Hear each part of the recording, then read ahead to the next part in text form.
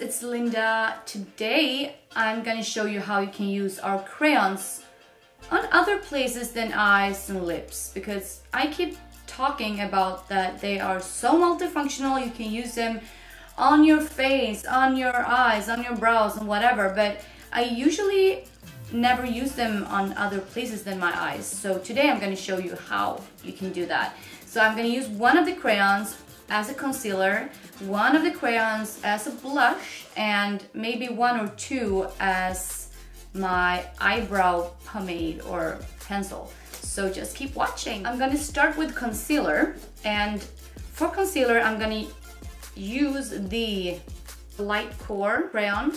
It's kind of, it's got a yellowish tone to it, which reduces redness so if you have like redness from spots and pimples, it's perfect for that. So as you can see here, it reduces all the red spots. And the great thing here is that dries and dries to waterproof form formula. So if you have a water-based foundation, it won't move the concealer. Also, it's really important to always sharpen the crayon after if you're gonna use it on eyes or lips.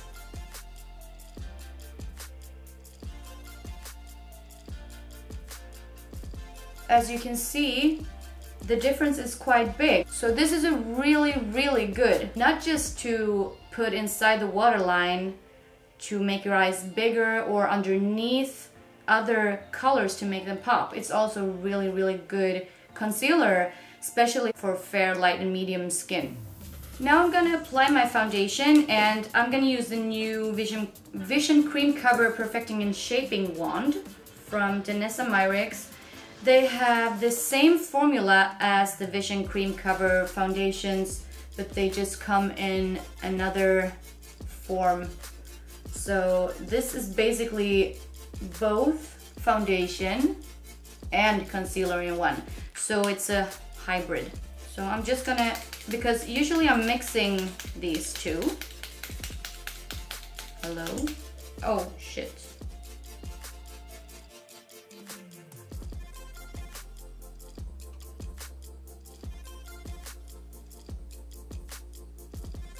Okay, so usually next step would be powder, but instead I'm gonna do my blush.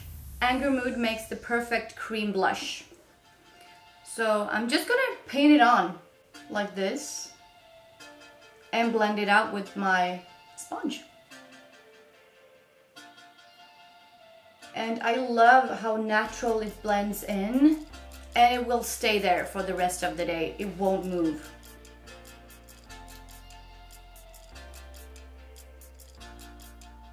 So this is how you can create a nice blush using a pencil.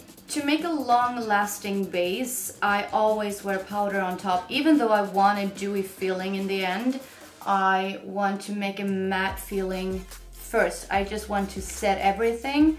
And right now, I am using Paris Berlin H, like powder high-tech, high-tech powder in let me see, HT20.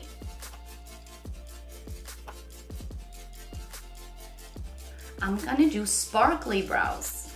So I'm gonna use, and I'm gonna use the angled brush, and I'm gonna use the angled brush and spar as a pomade.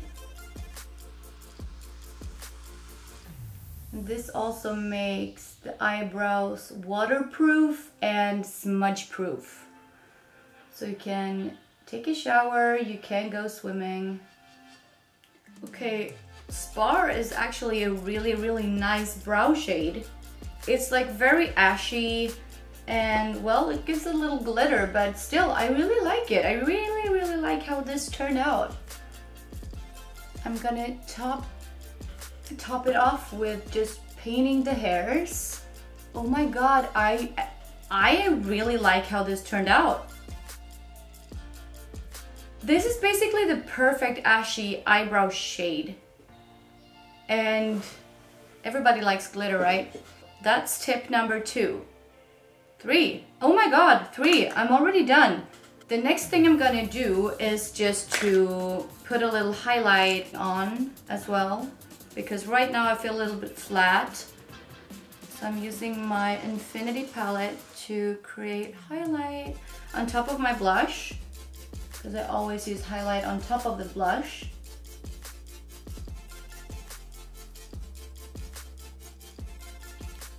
I don't feel like I need any, what is it called? Contour for this look. But um, yeah, this is just like the basics that you can do with the crayons.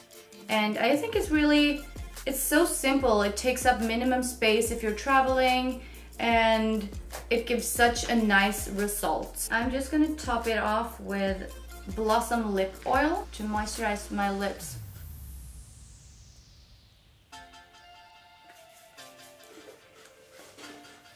Okay, I think this is it. I really, I really love the glittery brows. They make, they make it look a little bit more interesting actually. This is something I'm gonna do more, definitely. So I really hope you enjoyed this video. Don't forget to click like and don't forget to subscribe don't forget to subscribe to my channel and I'll see you again very soon. Bye guys!